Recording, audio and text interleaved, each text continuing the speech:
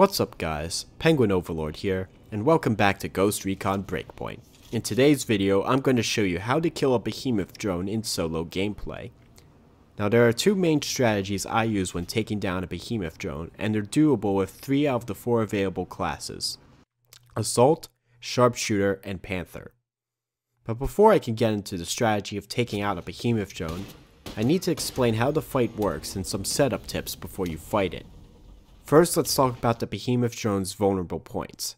While it is heavily armored, the drone has large orange areas and small blue lights that are visible. The blue lights on the drone are your priority target, as hitting them will do a ton of damage and stun the drone for a few seconds. Hitting the orange area will also do a significant amount of damage, but not as much as hitting the blue lights will. Hitting the armor will not do anything to the drone unless you're using a rocket launcher or a grenade launcher. In that case, it will knock off some of the Behemoth drone's armor, which is useful for exposing the orange areas. However, rocket launchers and grenade launchers don't do much damage to the Behemoth drone, even with the Explosives Expert perk, so it's largely a waste of time.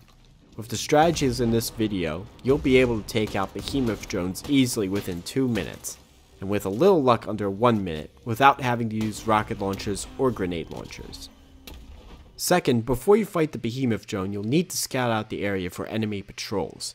This is one factor that changed the dynamic of the fight from the betas to the full game coming out, which is why I didn't make this guide until now.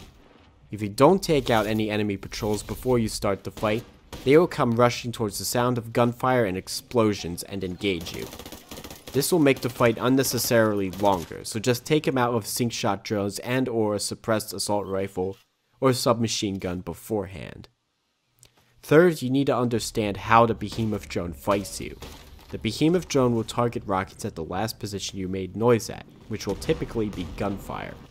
However, if you're too close to the behemoth, it can hear you even if you're out of its line of sight, which means it will retarget its rockets at your current position. That said, the rockets are easily dodged, the Behemoth drone's miniguns are the real threat, because if you don't get behind cover quickly, or use the drone spray, they will chew you up. So when possible, stay out of its line of sight and pop out of cover only for brief moments.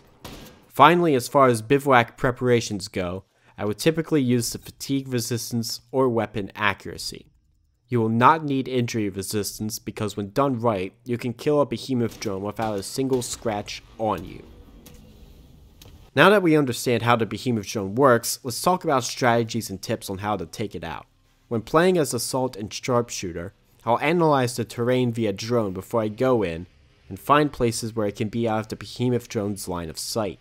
I typically prefer going up on a plateau that's on higher ground than the Behemoth drone, and when up there I'll move back and forth from two points on that plateau to shoot at the Behemoth drone.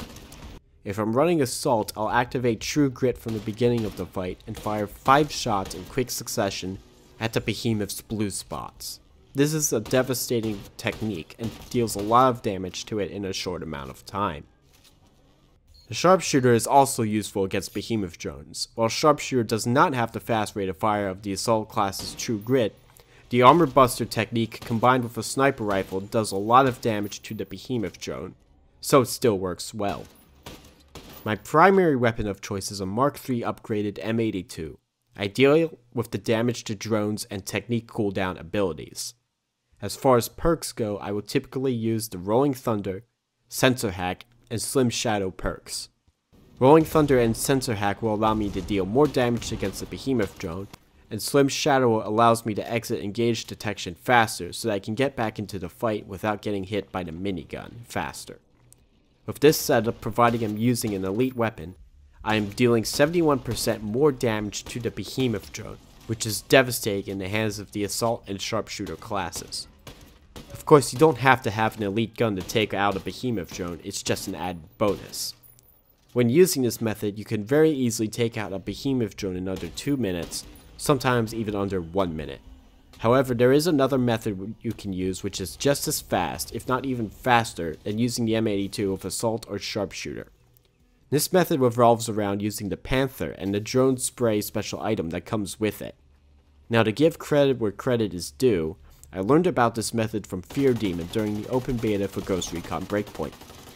He was able to use this method to kill a behemoth drone in 9 seconds flat during the open beta, which is not possible in the full game but is still very impressive. I'll leave a link to his channel in the description below. Please go subscribe to him and thank you Feardemon for sharing his method with me. So basically you just use the drone spray, run up close to the behemoth drone, and light it up with an LMG. Again you'll want to hit the blue and orange lights, but when done right, you can easily kill the behemoth in under 2 minutes, sometimes under 1 minute. This method is great because you don't really need to worry about cover at all. All you need to do is dodge the rockets and make sure you don't get run over by the behemoth, neither of which are particularly hard. You do want to make sure you reapply the drone spray if the behemoth starts detecting you again, because if you don't put it on and it's not almost dead, you'll get shredded. With this method, I used the Mark 48 with the damage to drones ability. The second ability doesn't matter as much, it's up to you. I'll also use the Sensor Hack, Gunslinger, and Ballistic Advantage perks.